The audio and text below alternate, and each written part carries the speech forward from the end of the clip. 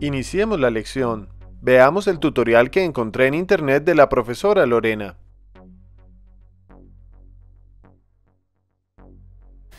Vamos a iniciar con el tema de productos notables, que son expresiones algebraicas que cumplen ciertas reglas y que no es necesario realizar la multiplicación, sino que su resultado se puede verificar por simple inspección. ¿Qué quiere decir esto? Quiere decir que no es necesario hacer toda una multiplicación extensa, multiplicar término a término, sino que si cumplen las condiciones que vamos a ver a continuación, tiene una regla fija y ya, simplemente se aplica la regla y se hace el proceso aritmético o algebraico al que haya lugar. Entonces, el primer producto notable que vamos a ver es la suma de un binomio elevado al cuadrado. ¿Qué nos dice esta regla? Nos dice que si tenemos dos términos, que están sumándose y a su vez estos están elevados al cuadrado, entonces su resultado o la regla en este caso va a ser esta. El primer término elevado al cuadrado más dos veces el primer término por el segundo más el segundo término al cuadrado para poder evidenciar un poco más lo que nos están diciendo. Entonces vamos a tomar el siguiente ejemplo. 2 tercios de x al cuadrado más 4, esto elevado al cuadrado. Entonces vamos a mirar, la regla nos dice el primer término al cuadrado, en este caso yo diría 2 tercios de x al cuadrado al cuadrado. Es 2 tercios de x al cuadrado al cuadrado. Como la x ya tiene un cuadrado, no podemos pensar que ya no es necesario elevarla. Igual hay que elevarla si el término está a la 3 y el término está a la 4. Es igual, todo el primer término lo vamos a elevar al cuadrado dos veces el primer término por el segundo. Dos veces el primer término, dos tercios de x al cuadrado, por el segundo término. Más el segundo término al cuadrado, más el segundo término al cuadrado. Ahí estaría 4 al cuadrado. Esta sería la respuesta a partir de la regla. Ya aplicamos la regla. ¿Qué hay que hacer entonces? Ahora lo que tenemos que verificar es todo el proceso aritmético o el proceso algebraico al que haya lugar, porque ahí ya expandimos la expresión, pero necesitamos darle una solución para que nos quede simplificada. Entonces diremos 2 tercios de x al cuadrado al cuadrado. Entonces recuerden primero los coeficientes numéricos, luego miramos los factores literales. Entonces 2 tercios al cuadrado es igual a tener 4 novenos. 4 novenos de x a la 4, porque x al cuadrado al cuadrado, x a la 4 nos quedaría esta expresión. Luego digo dos veces el primer término por el segundo. Su resultado sería 2 por 2 tercios, 4 tercios. 4 tercios por 4, 16 tercios. Y el factor literal, en este caso, en esta multiplicación, solo está x al cuadrado, quedaría x al cuadrado. Más 4 al cuadrado, entonces 4 al cuadrado me quedaría 16. Y quedó resuelto nuestro primer producto notable. El segundo producto notable con el que vamos a trabajar es la diferencia de un binomio elevado al cuadrado. Este es muy parecido al anterior. ¿Qué está cambiando? Que ya no tenemos una suma, sino tenemos una resta. ¿En qué nos cambia la regla? En el segundo símbolo. El segundo símbolo deja de ser positivo para ser un negativo. De, de resto ustedes pueden verificar que es la misma expresión. Si yo tengo a menos b al cuadrado es igual a tener el primer término al cuadrado menos dos veces el primer término por el segundo más el segundo término al cuadrado. Ahora vamos a ver un ejemplo. Entonces empezamos. El ejemplo sería 3x menos 5 elevado al cuadrado. Empezamos a verificar, entonces recordemos, primer término al cuadrado, quiere decir 3x al cuadrado, menos dos veces el primer término por el segundo término, menos dos veces el primer término por el segundo término, más el segundo término al cuadrado. El resultado de este, ¿cuál sería? Entonces el primer término al cuadrado sería 3x al cuadrado, 9x al cuadrado, menos dos veces el primer término por el segundo término me quedaría 2 por 3, 6, 6 por 5, 30, entonces me quedaría menos 30 y los factores literales x por y, xy, más el segundo término al cuadrado, que en este caso sería 25y al cuadrado. Y ese sería el resultado. Muy sencillo el ejercicio. El tercer y el cuarto caso que tenemos de productos notables son muy parecidos. ¿Qué tenemos en esta ocasión? Una suma y una diferencia de binomios, cada uno elevado al cubo.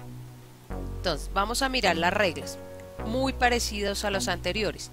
El primer término elevado al cubo más tres veces el primer término elevado al cuadrado por el segundo más tres veces el primer término por el segundo al cuadrado más el segundo al cubo.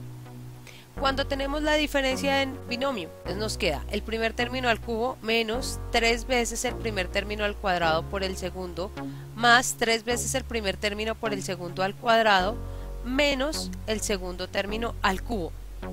¿Qué hay de diferencia en estos dos? Entonces, cuando yo estoy sumando, cuando el binomio está sumando, todos los signos van a ser positivos. Cuando es una diferencia, hay una resta entre los términos del binomio, vamos a tener en cuenta los dos signos que vamos a cambiar. Vamos a cambiar el segundo signo y el cuarto signo. Estos signos van a ser negativos, van a estar restando. Lo único que vamos a tener en cuenta. Rápidamente vamos a ver un ejemplo de cada uno. Entonces en este caso nos dicen x más 2y elevado al cubo. Entonces vamos a mirar, nos quedaría el primer término al cubo más tres veces el primer término al cuadrado por el segundo término más tres veces el primer término por el segundo término al cuadrado más el segundo al cubo. ¿Cuál sería la respuesta a esto? Hacemos nuestras operaciones aritméticas a las que hay lugar. Nos quedaría fácilmente. Entonces, x al cubo más 3 eh, por 2, 6, 6, x al cuadrado y más 12. Vamos a mirar de dónde sale ese 12. Entonces decimos 2 al cuadrado, 4. Entonces, 4 por 3, 12. X, que es este factor literal, y y, que está elevado al cuadrado, y al cuadrado.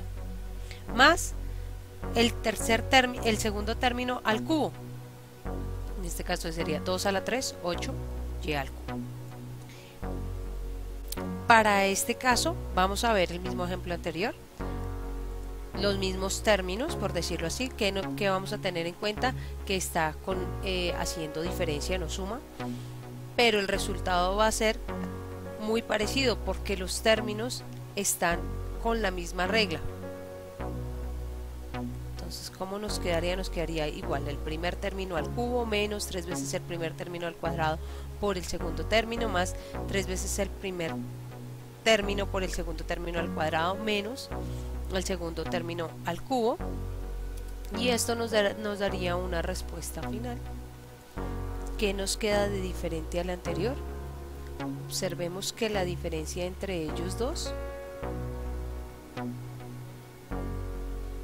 la diferencia entre ellos dos son los símbolos que aparecen en el segundo término y en el cuarto término el resto son completamente iguales y la regla se cumple. El quinto caso que vamos a ver de productos notables es la suma de un binomio por su diferencia. ¿Qué traduce esto? Que está el binomio sumándose y está multiplicándose por su diferencia. Pueden observar acá que el primer término en cada uno de los paréntesis es igual y que el segundo término en cada paréntesis es completamente igual. No está sumando, en el otro está restando. ¿A qué va a ser eso igual?